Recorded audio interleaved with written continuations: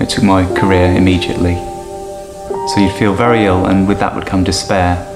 Because in my worst year, I was ill every day for most of the year.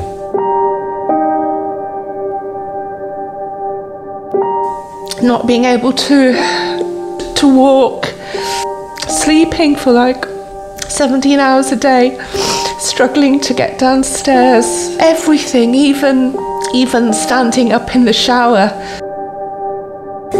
Feels like you've been hit by a bus or dragged through a hedge. Um, everything hurts everywhere. I think it's very hard to describe to someone else how it feels.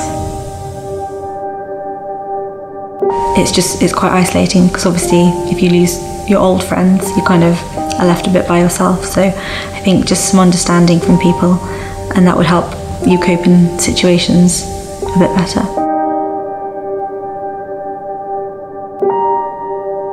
on a good day or when I'm, if I was well and I didn't have ME, I've got a vibrant personality. I love life, I love living, I love being active. And that's what keeps me going. That's my that's my core sense of self. I'm just so unused to the idea of someone helping me with the illness. We are told by the NHS that there is no cure. Would be able to support people better and kind of help them not feel so isolated and connect them to other people. And to go to the doctor and be taken seriously and listened to, not like, oh, it will go away, uh, you just have to manage it. When, you know, managing it just isn't enough, you just want to be better.